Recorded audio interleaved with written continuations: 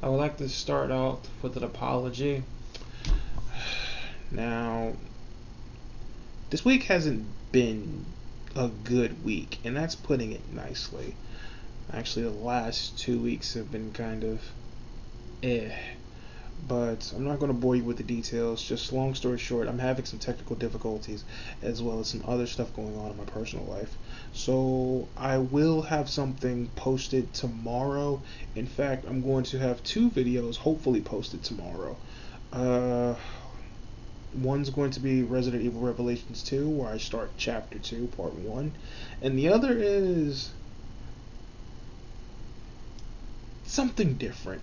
I'm not going to spoil it, but I had a lot of stuff that I had planned, but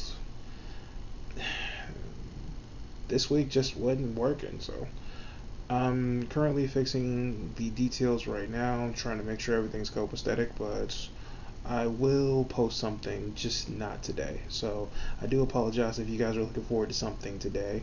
If I can, I might squeeze something out. I'm not going to rush it though. I don't want it to come off or look bleh. So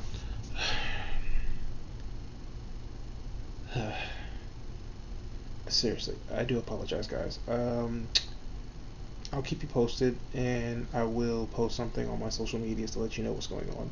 But again, I do apologize. Not one way I wanted you to step into my mind today, but it is what it is. Cheers.